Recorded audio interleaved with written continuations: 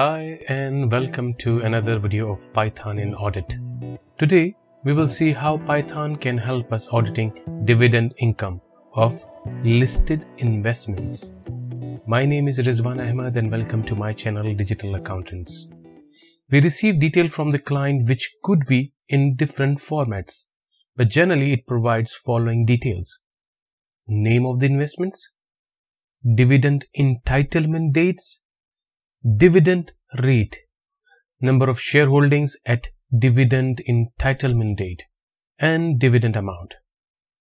The additional column I have here is symbol, which we don't see in client provided schedules. For data collection purposes, this is the main ingredient.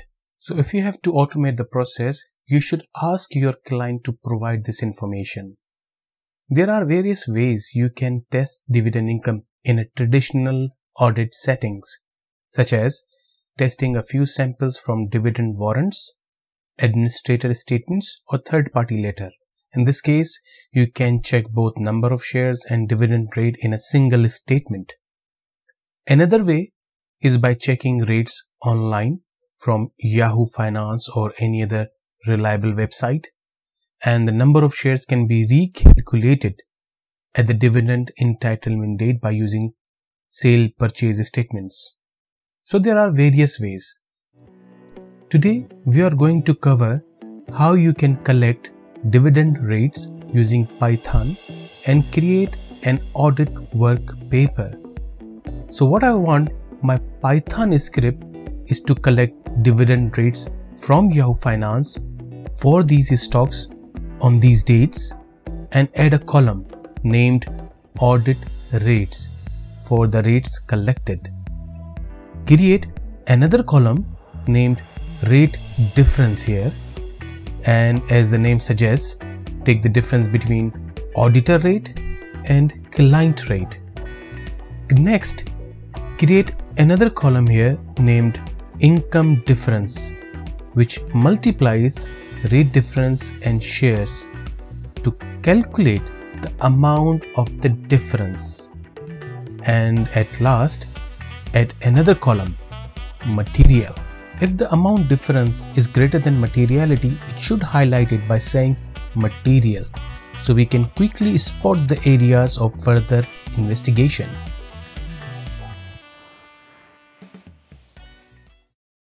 This is the Python code that should achieve the purpose. Let's quickly go through the code. First, I'm importing two libraries, Pandas and YFinance. YFinance is the one collecting rates from Yahoo server. I'm loading or reading client provided schedule and saving it in a variable list. Next, I'm saving my materiality number in a variable materiality. So the script knows the difference is to be marked as material above this number. Next, from the client provided schedule which is saved in a variable list, I'm extracting symbols. Next, I'm setting my desired financial year dates. So dividends only obtained for the dates that fall within this financial year. I'm creating an empty data frame which will store the data once collected. Here, I'm initiating the process of rates collection and looping for all stock symbols. I'm assigning column names with symbols so we can identify which rate belongs to which stock. Next, transposing the data. Next, I'm using stack function to create multi-index data frame.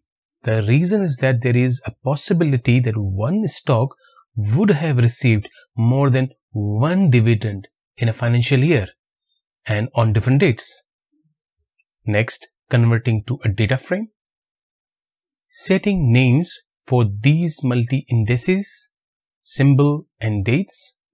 Setting a name for the column that has dividend rates. I want to save the dividend file in a CSV for reference purposes before creating audit work paper. I'm reading from the file and aligning dates, otherwise it is a date with a long timestamp. Here, I'm creating my audit work paper with all my desired columns. And at the end, saving the file in CSV format with the name Dividend Income Work Paper WP in a CSV. Let's select the code and run.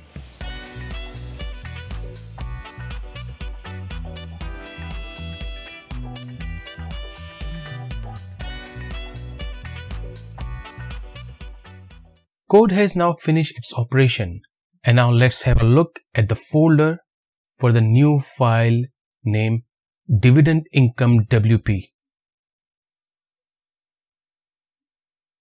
And as expected, I can see I have all my desired columns. In the end, two differences.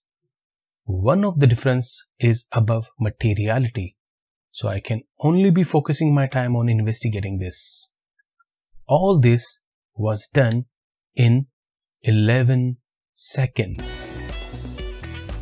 If you are not familiar with any programming language and want to learn Python, I have a series Python for accountants in this channel. It is easy to follow by accounting and finance professionals.